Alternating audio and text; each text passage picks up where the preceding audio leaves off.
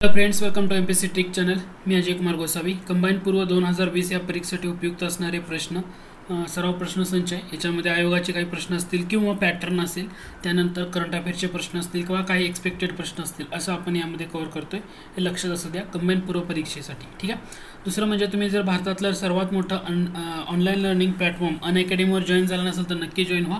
तिथं तुम्हाला प्ले स्टोअरवरनं गुगल प्ले स्टोअरवरनं अन अकॅडमी ॲप डाउनलोड करा. डाउनलोड केल्यानंतर तुम्हाला तिथला फ्री ॲक्टिव्ह प्लॅन ॲक्टिवेट करायसाठी विचारलं जाईल.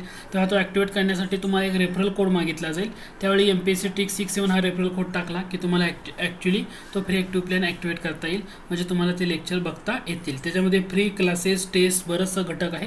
तुम्ही जॉईन करा तुम्हाला त्याचा नक्की फायदा होईल. ठीक आहे? तर आज आपण वेळ न दौडता ॲक्च्युली आपलं जे लेक्चर आहे त्या लेक्चरला सुरुवात करूया. आपला आजचा पहिला प्रश्न आहे तो म्हणजे देशाचे सत्तेचाळीसावे. म्हणजे आता हा पॉईंट लक्षात घ्या कारण पहिलं क्लिअर करतो. क्लिअर म्हणजे कसं? करंट अफेअर जे असणार आहे तुम्हाला करंट अफेअर कंबाईन पूर्व परीक्षेसाठी असणारं करंट अफेअर असणार आहे ना? तर ते तुम्हाला कोणत्या घटकापर्यंत करायचं आहे ते लक्षात घ्या. कंबाईन पूर्व परीक्षेसाठी करंट अफेअर तुम्हाला एक जानेवारी दोन हजार एकोणीसपासून ते ते ते एकतीस मार्च दोन हजार वीस. इथंपर्यंतच करंट अफेअर तुम्हाला जास्त फोकस करायचं आहे कारण पेपर ऑलरेडी सेट झालेले होते आणि बराचसा घटक आहे. तुम्ही आयोगाच्या पत्रावरनं किंवा बऱ्याच मुद्द्यावरनं तुम्ही त्याचा अंदाज बांधू शकता. कारण दोन झालेले एक्झाम राज्यसेवा पूर्व आणि त्याच्यानंतर जी अभियांत्रिकी पूर्व त्याच्यामध्ये त्या परीक्षेच्या अगोदरच्या डेट काय त्यानंतरचं काय ह्याच्यावरनं यामध्येच करंट अफेअर तुम्हाला पाहायला मिळतील. म्हणून तुम्हाला हा घटक अभ्यासायचा आहे. ठीक आहे? तर आपलाचा पहिला प्रश्न जो होता की देशाचे सत्तेचाळीसावे सरन्यायाधीश शरद शरद बोबडे. म्हणजे आता हे निवृत्त झाले तेवीस एप्रिल दोन हजार एकवीसला. पण तुम्हाला लक्षात ठेवायचं ठीक आहे? सत्तेचाळीसावे सरन्यायाधीश शरद बोबडे खालीलपैकी कोणत्या न्यायालयात मुख्य न्यायमूर्ती या पदावर त्यांनी काम केले? म्हणजे कोणतं असं न्यायालय की ज्या न्यायालयामध्ये त्यांनी मुख्य न्यायमूर्ती या पदावर कार्य केलेलं आहे? मुख्य न्यायमूर्ती पदावर म्हटलं तर ते काय होते? मध्य प्रदेश उच्च न्यायालयात. हे लक्षात राहू द्या. कारण मुंबई उच्च न्यायालयात ते अतिरिक्त न्यायाधीश या पदावर कार्यरत होते. मुंबई उच्च न्यायालयामध्ये अतिरिक्त न्यायाधीश या पदावर ते कार्यरत होते. ठीक आहे? अतिरिक्त न्यायाधीश. पण तुम्हाला काय विचारलंय? की मुख्य न्यायाधीश पदावर कोणते? मुख्य न्यायाधीश पद म्हटल्यानंतर मध्य प्रदेश मुख्य न्याय उच्च न्यायालय हे डेफिनेटली असणार आहे. हे लक्षात घ्या. म्हणजे सुरुवातीला ते एकोणीसशे अठ्ठ्याहत्तरमध्ये मुंबई उच्च न्यायालयाचं जे नागपूर खंडपीठ आहे त्याच्यामध्ये त्यांनी वकिली सुरू केली. एकोणीसशे अठ्ठ्याण्णवमध्ये ते सिनियर ॲडव्होकेट बनले. दोन हजार साली मुंबई उच्च न्यायालयाचं अतिरिक्त न्यायाधीश म्हणून नियुक्त झाली. अतिरिक्त न्यायाधीश. दोन हजार बारामध्ये मध्य प्रदेश उच्च न्यायालयाचे मुख्य न्यायाधीश झाले. दोन हजार तेरामध्ये सर्वोच्च न्यायालयाचे न्यायाधीश झाले. आणि अठरा नोव्हेंबर दोन हजार एकोणीस रोजी सर्वोच्च न्यायालयाचे सत्तेचाळीसावे सरन्यायाधीश ते बनले होते आणि निवृत्त झाले तेवीस एप्रिल दोन हजार एकवीसला हे लक्षात ठेवा. परीक्षेसाठी ना हा घटक थोडासा महत्त्वाचा आहे. ठीक आहे तर आपला आजचा पहिला प्रश्न होता. दुसरा प्रश्न आहे मानवाधिकार संरक्षण दुरुस्ती अधिनियम विधेयक दोन हजार एकोणीसनुसार राष्ट्रीय तसेच राज्य मानवाधिकार आयोगाचा अध्यक्ष यांचा कार्यकाल किती करण्यात आलाय? हा कार्यकाल चेंज झालाय. पहिला पाच वर्ष ते सत्तर होता तर आता काय केलेलं आहे? तीन वर्ष किंवा वयाची सत्तर वर्ष पूर्ण होईपर्यंत जो अगोदर घडेल तो असा करण्यात आलेला आहे. कारण तुम्हाला त्याचं कंपॅरिझन बघताना कारण हे मानवाधिकार संरक्षण कायदा एकोणीसशे त्र्याण्णवचा पूर्वीचा सध्याचा दोन हजार एकोणीसचा आहे. लक्षात घ्या. या त्र्याण्णवच्या कायद्यामध्ये तरतूद होती पाच वर्ष किंवा वयाची सत्तर वर्ष अध्यक्षांचा कार्यकाळ. ह्या दोन हजार एकोणीसमध्ये तीन वर्ष किंवा वयाची सत्तर वर्ष हा कार्यकाळ झाला आहे म्हणजे हा एक घटक तुम्हाला फोकस करायचा आहे ओल्ड कायद्यामध्ये कसं होतं जो अध्यक्ष होणार आहे तर त्याची पात्रता होती सर्वोच्च न्यायालयाचे माजी सरन्यायाधीश. याची पात्रता ठेवण्यात आली होती. परंतु न- नवीन कायदा करण्यात आला त्याच्यामध्ये सर्वोच्च न्यायालयाचे सरन्यायाधीश तसेच माजी न्यायाधीश यांना सुद्धा अध्यक्ष होता येते. म्हणजे ही माजी न्यायाधीशाची अट याच्यामध्ये ऍड करण्यात आलेली आहे. तसं राज्याचा जो एच आर सी आहे म्हणजे मानवाधिकार संरक्षण जो प्रमुख होणार आहे अध्यक्ष. तर याच्यामध्ये पहिल्यांदा उच्च न्यायालयाचे मुख्य न्यायाधीश अशी एकोणीसशे त्र्याण्णवची अट होती दोन हजार एकोणीसमध्ये काय केले मुख्य न्यायाधीश किंवा न्यायाधीश असं त्याच्यामध्ये ॲड केलेलं आहे. या घटकावर पण तुम्ही थोडंसं फोकस करू शकता की जो अधिनियम बावीस जुलै दोन हजार एकोणीस रोजी मंजूर करण्यात आला. बावीस जुलै दोन हजार एकोणीस रोजी संमत करण्यात आलेला आहे. लक्षात आलं? म्हणजे मानवाधिकार संरक्षण दुरुस्ती विधेयक याच्यानुसार तीन वर्ष किंवा वयाची पा सत्तर वर्ष हा घटक तुमचं काय असणार आहे? करेक्ट उत्तर यामध्ये असणार आहे. ठीक आहे? पुढचा प्रश्न बघा. सर्वोच्च न्यायालयातल्या न्यायाधीशांची संख्या दुरुस्ती विधेयक. तुम्हाला विचारले अयोग्य विधान कोणतं? सर्वोच्च न्यायालय न्यायाधीश संख्या दुरुस्ती विधेयक दोन हजार एकोणीसनुसार सर्वोच्च न्यायालयातील न्यायाधीशांची संख्या चौतीस. कोणसा देताना सरन्यायाधीश असं केली आहे का? हो बरोबर आहे. चौतीस करण्यात आली आहे. एकोणीसशे छप्पनचा जो कायदा आहे त्याच्यामध्ये सुधारणा करण्यात आलं. हे विधान बरोबर आहे का? डेफिनेटली हे सुद्धा विधान काय असणार आहे? तुमचं बरोबर असणार आहे. सर्वोच्च न्यायालयाच्या स्थापनेवेळी न्यायाधीशांची संख्या सात होती. सरन्यायाधीशासह सॉरी चुकीचं आहे. सर्वोच्च न्यायालयाच्या स्थापनेवेळी न्यायाधीशांची संख्या किती होती? आठ होती. त्याच्यामुळे तुम्हाला अयोग्य ओळखा म्हटले. पर्याय क्रमांक तीन तुमचं काय असणार आहे? अयोग्य विधान असणार आहे. न्यायमूर्ती रानडे यांनी विधवा विवाह उद्योजक मंडळाची स्थापना केव्हा केली? विधवा विवाह उद्योजक मंडळ न्यायमूर्ती रानडे अठराशे पासष्ट. ठीक आहे? लगेच तुमच्या लक्षात आलं पाहिजे. ओके? त्याच्यानंतर पंचायत राजच्या पंचायत राज संस्थांच्या व्यवस्थापनासाठी पंचायत राज संस्थांच्या कामकाजावर परिणामकारक व योग्य देखरेख व नियंत्रण ठेवण्यासाठी एक स्वतंत्र अतिरिक्त विभागीय आयुक्तांचं पद निर्माण करण्यात यावं. म्हणजे एक स्वतंत्र अतिरिक्त विभागीय आयुक्तांचं पद निर्माण करण्यात यावं अशी शिफारस का असं मत कोणत्या समितीनं मांडलं?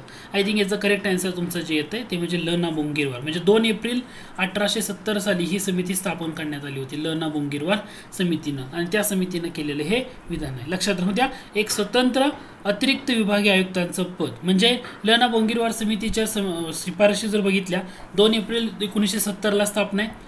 आमदार खासदार असतील तर त्यांना झडपीचं सदस्यत्व देऊ नये. आमदार खासदार यांना झडपीचं सदस्यत्व देऊ नये. किंवा ज्या दहा हजारापेक्षा जास्त ते घटक लक्षात घ्या. दहा हजारापेक्षा जर जास्त लोकसंख्या असेल त्या ग्रामपंचायतीचं तुम्ही नगर परिषदेमध्ये रूपांतर करावं. न्यायपंचायती पूर्णपणे रद्द कराव्यात अशा शिफारसी लना बोंगीरवार समितीनं केलेल्या होत्या. तर इथं घटक लक्षात ठेवा. पुढचा प्रश्न आहे तो म्हणजे करंट रिलेटेड येतो. तो म्हणजे दिल्लीच्या मुख्यमंत्री. दिल्लीच्या मुख्यमंत्री म्हणून शिला दीक्षित यांनी सलग पंधरा वर्ष म्हणजे एकोणीसशे अठ्ठ्याण्णव ते दोन हजार तेरापर्यंत काम केलं. खालीलपैकी कोणत्या राज्याच्या राज्यपाल पदावर त्यांनी काम केलं होतं? राज्यपाल म्हटलं तर केरळ लक्षात घ्या. कारण जेव्हा मोदी सरकार सत्तेमध्ये आले ना तेव्हा ते मोदी सरकारने त्यांना राजीनामा द्यायला भाग पडलं. काही कालावधीसाठीच होत्या. म्हणजे एक वर्षाच्या आतला कालावधी होता पाच सहा महिन्याचा. त्याच्यासाठी त्या केरळच्या राज्यपाल राहिल्या होत्या शीला दीक्षित. शीला दीक्षित म्हटलं तर दिल्लीच्या सर्वात काळ मुख्यमंत्री व दुसऱ्या महिला मुख्यमंत्री. शीला दीक्षित दुसऱ्या महिला मुख्यमंत्री आहेत दिल्लीच्या हे लक्षात घ्या. आणि सर्वात जास्त काळ मूल्य दिल्लीचं मुख्यमंत्रीपद म्हणजे सलग पंधरा वर्ष त्यांनी भूषवलेलं होतं. कारण दिल्लीच्या पहिल्या महिला मुख्यमंत्री ह्या सुषमा स्वराज होत्या. त्या ऑक्टोबर एकोणीसशे अठ्ठ्याण्णव ते डिसेंबर एकोणीसशे अठ्ठ्याण्णव या कालावधीमध्ये सुषमा स्वराज दिल्लीच्या मुख्यमंत्री होत्या. सुषमा स्वराज यांच्यानंतर शीला दीक्षित दिल्लीच्या मुख्यमंत्री झाल्या. त्या दोन हजार तेरापर्यंत त्या पदावर कार्यरत होत्या. म्हणजे हा घटक तुम्ही इथं थोडासा फोकस करू शकता किंवा यावर तुम्ही लक्ष ठेवू शकता. ठीक आहे? पुढचा प्रश्न आहे खालीलपैकी केव्हा चितगाव शस्त्रगारावरील सशस्त्र हल्ल्याची ब्रिटिश सत्तेला जबरदस्त हादरा देणारी घटना घडली? चितगाव हल्ला म्हणलं की तुम्हाला एक नाव लक्षात आलं पाहिजे. ज्या व्यक्तीला मास्तरदा या नावानं ओळखलं जातं. मास्तरदा किंवा त्यांना आपण काय म्हणतो? सूर्यसेन असं म्हणतो. मास्तरदा किंवा त्यांना सूर्यसेन या नावानं ओळखलं जातं. तर हे अठरा एप्रिल एकोणीसशे तीस चितगाव शस्त्रगारावरील सशस्त्र हल्ल्याची घटना. ठीक आहे?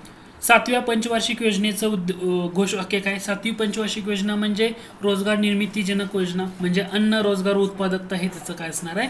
घोषवाक्य असणार आहे सातव्या पंचवार्षिक योजनेचं. ठीक आहे?